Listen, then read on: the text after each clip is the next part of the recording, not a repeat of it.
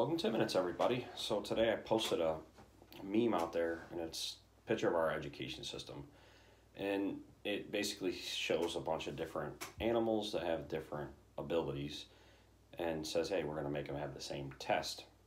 Go climb the tree." Um, and you know, there's some real truth to that, and it's a complex conversation, complex issue. I think if it was easy to solve, um, what we think it would be better or we need to do better would already be better.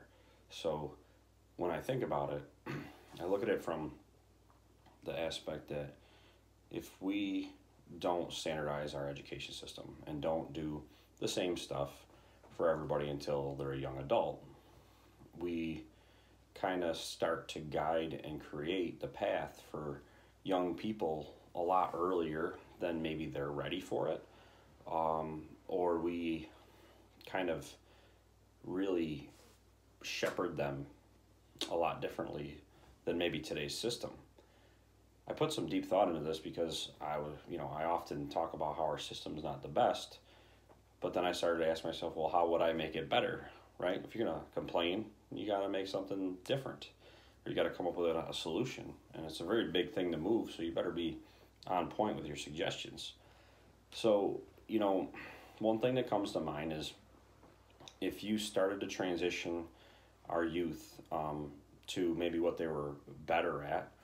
Uh, you know, some people are good at math, some people are good at um, the trades, you know, so we have a BOCES system and stuff like that. But, you know, what age is the right age to start niching people into where we think they belong? And I think that's where the problem is we almost need to figure out how to get a culture where we train and mentor and lead people to figure out where they want to be.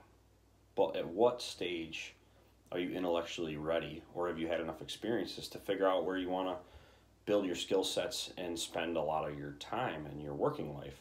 If you, you know, the other, a lot of people don't choose what they do in life. It kind of happens to them. They find their place, right? Um, not everybody can be an entrepreneur or a business creator. There's there's people for every little facet, and everybody's got their different strengths. Just like in the picture, you know, you're not gonna have an alligator climb a tree very easily, or you know, a hedgehog for that matter. But at the same time, you know, it gets quickly. So say, hey, eighth grade. I thought about is it eighth grade? That's the right time to say we've taught you basic lessons. We've taught you the basic needs to understand how to operate in society, now it's time to ask you this question What do you want to do in life? And, you know, I'm like, geez, I don't know if that's the right time. tried to think back to when I was a kid. Um, uh, you know, right now we kind of have those conversations a lot more at 10th grade or going into 10th or yeah, 10th grade, going into 11th and 12th grade. And then that's like where I transitioned to BOCES. And that was a really good program for me.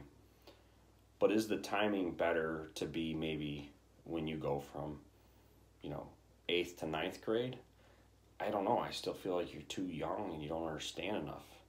So I was trying to figure out the solution on what I would do different with the system that I feel doesn't help um, groom and grow our youth the right way.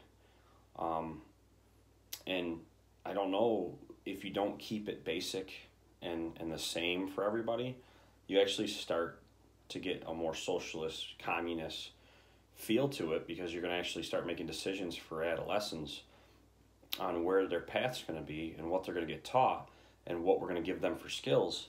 And we kind of pigeonhole them into a future. That seems fucked up. So I was like, wow. So until you feel like they're at a point where they can take responsibility for where they want to go in life, you kind of take responsibility for them. And what is the right age for that transition for them to say i know what i want because i've been given the options. I've had enough experience so now i can pick my direction. It's just a tough it's a tough one. It's a tough one once i step back and started really thinking about it. And um, i sure as hell don't want people sizing up my kid and telling them that they're going to go and do this and the next four years of their high school are going to be focused on this sector of the world or you're going to go do this or hey you're only good for food you know you know food or you're only good for um, doing labor or you know you should be an electrician or you should be this. We have to allow the freedom you know of our american people to choose where they want to be but we talk about this outdated school system. It's tough. Now is there things that should be better taught in school? Absolutely we should be teaching emotional intelligence. We should be teaching you know better financial awareness. But the problem is is you know teaching those types of things really awakens up a person to actually develop and grow into something that i think the general feeling of why we don't like our school system is society wants them trapped there.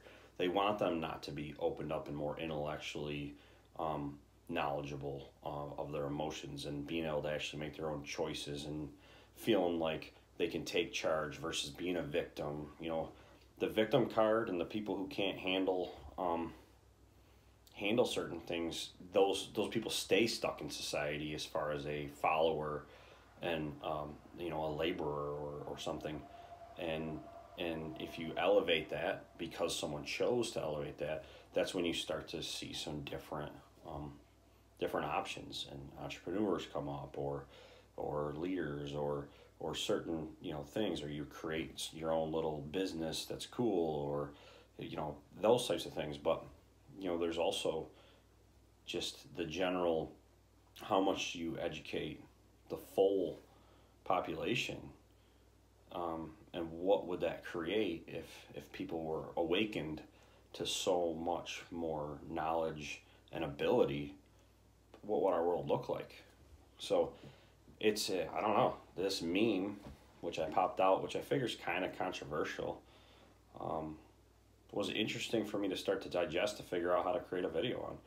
Uh, and I, I'd be interested to hear what people's comments are um, but I'm not saying there isn't things that can be improved but at what point do we